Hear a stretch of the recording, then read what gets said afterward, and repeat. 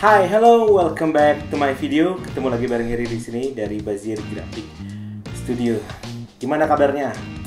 Pasti bosen ya di rumah terus di masa pandemi virus corona ini pemerintah menganjurkan kita buat stay at home. Nah, stay at home tuh pasti membosankan ya. Eh, Kadang eh, kita nonton udah, main game udah, nonton YouTube udah sering, tapi nonton YouTube sambil belajar itulah eh, alasan pertama saya eh, bikin video ini. Jadi ini adalah rangkaian video, ada tiga episode, di mana ini adalah episode yang ketiga. Jadi kalian kalau belum nonton video yang pertama dan kedua, saya saranin buat nonton dulu. Jadi di video saya yang pertama, saya bikin sketsa seperti ini hasilnya. Jadi sketsa itu saya bikin dari benar-benar dari nol sampai jadi sketsa. Nah di situ ada challenge-nya challenge berhadiah. Jadi challenge-nya kalian bisa download sketsanya yang udah jadi, ada linknya di video pertama. Di situ kalian bisa garap sketsnya dengan style kalian, tidak terbatas eh, medianya. Bisa kalian garap secara digital, bisa manual, bisa vektor, bisa Photoshop, bisa pakai iPad, bisa pakai handphone, terserah, nggak ada batasan pengerjaan. Setelah itu kalian bisa upload di feed Instagram kalian, kemudian eh, mention saya di sini di @bazirgraphic. Jangan lupa juga buat kasih hashtag Bazir Collabs dan Bazir Challenge. Setelah itu nanti bagi yang beruntung, nih benar-benar yang beruntung. Jadi hadiah ini tidak dipilih berdasarkan karya. Jadi kak bagi kalian yang eh, masih pemula, masih barusan aja belajar mau ikutan bisa banget karena eh, pemenangnya dipilih dengan cara acak. Nanti saya yang undi sendiri. Dan yang penting kalian upload di Instagram kalian dan akun jangan di lock. Kalau kalian bingung caranya, eh, step selanjutnya kayak apa, kalian bisa nonton video episode saya yang kedua. Jadi di video itu saya kasih step kedua yaitu inking. Kalian bisa mencontoh caranya, mencontoh setiap garis-garisnya, gelap terangnya, contoh aja nggak apa-apa. Nah setelah kalian dapat itu di inking yang kedua, baru kalian nonton di episode ini yaitu coloring. Eh, penasaran gimana hasilnya? Gimana hasil desainnya nanti jadinya gimana? Sebelum saya eh, ngerjain desainnya, bagi kalian yang belum subscribe, please subscribe, kemudian nyalakan loncengnya, share video ini. Kita eh, mulai aja langsung ya eh, proses coloringnya. Oke, yuk. Oke, kita langsung aja ya. Kita bakal buka Adobe Photoshop, lanjutin yang kemarin. Kita langsung buka file kita. Kalian pasti punya eh, judul masing-masing ya, tergantung desainnya ini jadi apa ya. Kemarin saya kasih ini judul Dead Pirate, nggak keren sih judulnya, biasa-biasa aja. Oke, eh, kemarin kita sampai sini. Saya sempat menambahkan kelabang ini, centipede. Ada kelabang di sini saya buat improvement aja. Saya hilangin. Ini sketsnya udah eh, saat ini udah nggak dipakai ya. Ya hide dengan cara mencet nih gambar mata ini dimatiin. Hide jadi disembunyikan. Kita akan nyoba mulai proses mewarnainya oke? Saya mau memulai dari schoolnya. Objek utamanya ini. Saya mau menyembunyikan layer-layer yang nggak perlu. Misalnya nah contohnya ini bunganya? Terus pepohonannya ini nanti dulu deh. Ya ini nanti dulu nggak apa-apa. Jadi di sini semuanya lainnya nggak ada yang putus ya. Putus tuh kayak gini nih. Nah nggak ada. Jadi nggak ada semuanya tertutup ini jadi memudahkan kita saat kita mau dropping warna basicnya warna dasarnya maksudnya. Oke nggak ada yang putus kan nah ini enak nih. Jadi kita di masih di layer school line art ini kita pencet W klik W magic wand kemudian kita klik di bagian luar. Oke kita dapetin seleksi bagian luar. Tapi ini seleksinya ada di luar ya bukan di dalam tengkoraknya. Buat masukin ke sana kita ke command shift i. Nah jadi dibalik. Jadi sekarang di dalam sini. Kita select modify.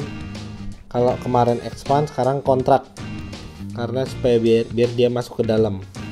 Ya dia masuk ke dalam kita lihat ke, kita deketin ini biar kelihatan ya. Nih kalau select kontrak kontrak tuh kebalikannya expand. Ke mana expand kita kasih tiga. Oke okay. nah dia masukkan ke dalam. Setelah itu kita bikin layer baru di sini. Tulisin school color satu gitu aja ya. Saya nggak tahu nih nanti bakal jadi warna apa soalnya. Dia masih terus uh, digonta ganti mungkin. Saya kasih warna yang paling netral dulu aja abu-abu. Kita drop color alt delete. Oke. Kita Ctrl D buat deselect hilangin seleksinya. Nah oke kan? Jadi kalau kita di layer atasnya ini yang hitam ini line art school line art school yang bawah color pertama. Hmm, oke. Okay. terus mungkin kalau kita mau nambah eh, warna kita kasih satu layer lagi tambah layer baru. Oke okay, ada teknik lain. Kalau tadi kan pakai teknik uh, magic wand ya. Karena kasusnya ini enak banget. Lainnya nggak ada yang putus. Nah sekarang saya mau bikin yang ini. Apa namanya? E, bandananya. Saya pakai lasso tool. Jadi saya bikin gini. Karena ini ada di bawah layernya layer hitamnya itu jadi nggak masalah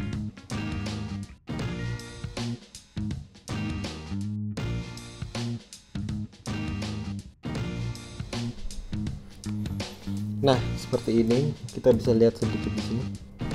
Ini aman ya. Nah, mungkin ini dikurangi dikit pakai magic eh pakai lasso tadi.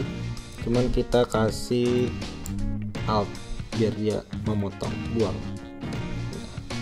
Ini aman.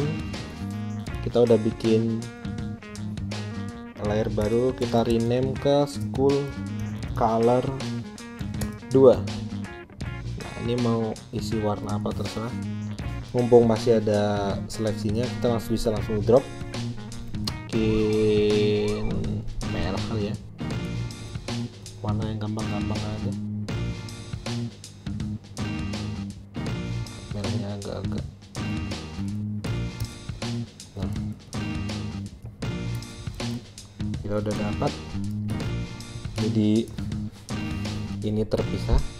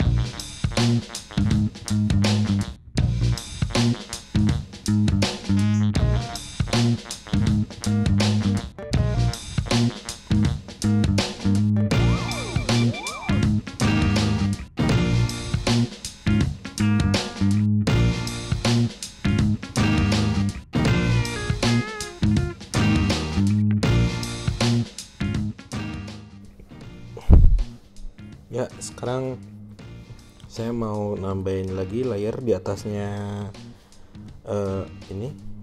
Dia abu lebih mudah saya mau kasih warna yang lebih terang lagi.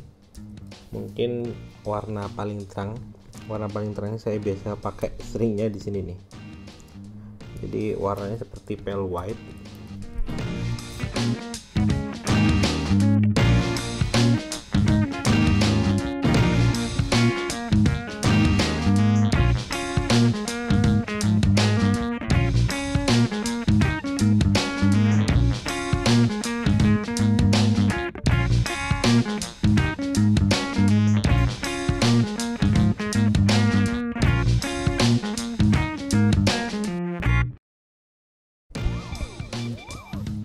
eh, bagian tengkorak si pirate-nya ini saya pikir segini dulu ya. Segini dulu nanti kalau mau ada tambahan-tambahan eh, gampang lah nanti. Bentar yang ini saya hapus nih. Tadi yang buat panah-panah ini. Saya hapus panahnya terus saya coba munculin line di tempat lain maksudnya line art lainnya ini flower nanti dulu. Kita mau kerja di sword sama Eh, kayaknya ini bagian pedang sama bagian foliage ini mau jadi mau saya jadiin satu aja deh. Kayaknya jadi bagian sword kan di bawah nih ada beberapa garis yang bersinggungan. Saya hapus dulu. Oke. nah, kita balikin opacity-nya kita merge layernya ya. Jadi ini di merge sama ini komen E di satu. Saya mau kasih sedikit eh, rumputan di sini. Tapi sebagian saya ambil dari sini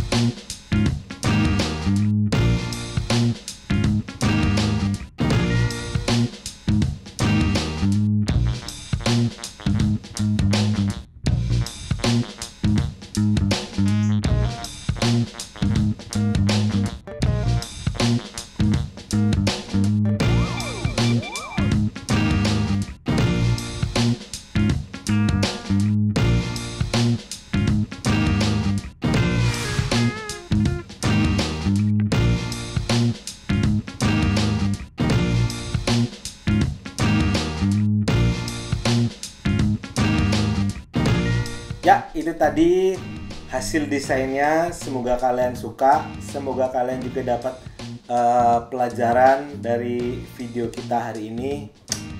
Terima kasih buat teman-teman yang udah ikutan challenge-nya. Bagi yang belum, ditunggu sampai eh, akhir bulan April ini. Jadi jangan di lock ya Instagramnya kalau mau ikut. Bagi yang belum subscribe, silahkan subscribe, nyalakan loncengnya, eh, share video ini. Tetap sehat, tetap semangat, supaya tetap bisa jalan-jalan bareng wisata kuliner. tetap jaga kesehatan, tetap di rumah aja. Kita ketemu lagi ya di video-video saya selanjutnya. Oke, bye-bye.